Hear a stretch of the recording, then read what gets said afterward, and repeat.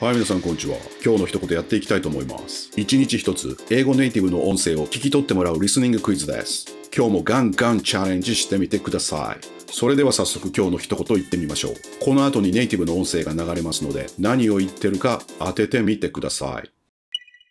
The rest is up to you. The rest is up to you.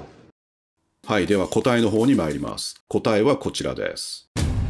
The rest is up to you. でした。あとは君に任せるよという意味です。The rest is up to you.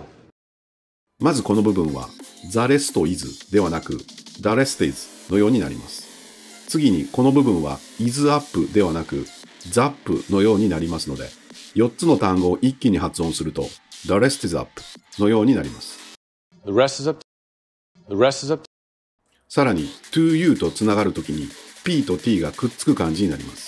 Up to you よりも up to you に近いです。Up to you. Up to you. ではゆっくりなバージョンで流しますので、音のつながり方を確認してみてください。The rest is up to you. The rest is up to you. The rest is up to you. カタカナ表記は聞き取った音を再現する上での目安です。自分の声を聞こえてきたネイティブの音に近づける工夫をしてみてください。では最後に3回、ネイティブの音声に続いて皆さんも声に出して喋ってみてください。The rest is up to you. The rest is up to you.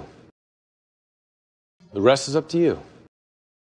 難しいと思った方はもう一回繰り返して練習してみてください。では次回の問題を流します。What do you do? こちらの答えは次回お伝えしますので、ぜひチェックしてください。それではまたお会いしましょう。See you next time.